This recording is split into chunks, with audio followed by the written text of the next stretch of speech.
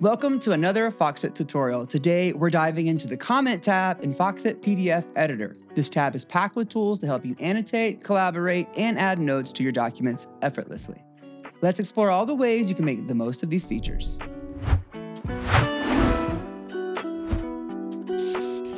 In the Comment tab, you'll find a variety of annotation tools to enhance your PDF documents. Starting at the top left, you can use features like highlighting, underlining, or striking through text. Adding pop-up notes is simple, just click on the document to leave a note. On the right-hand side, you can customize the format, including the text, font color, and overall appearance of your comments. For even more customization, right-click any comment to access its properties. Here, you can adjust the appearance, color, and opacity, or add general information like the note's history and type.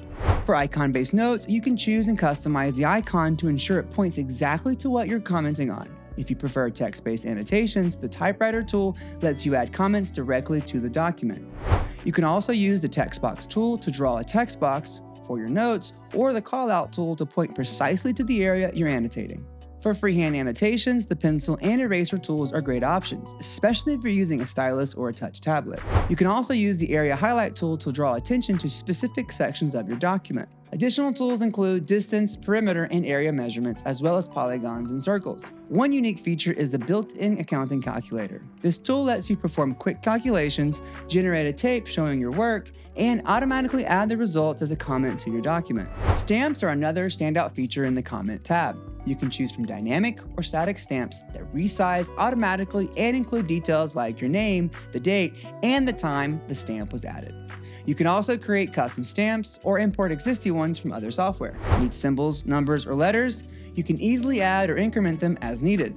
When it's time to wrap up, Foxit offers various ways to summarize your comments. You can export them as separate pages, connect them with lines, or sequence them with numbers. The export process is highly customizable to fit your needs.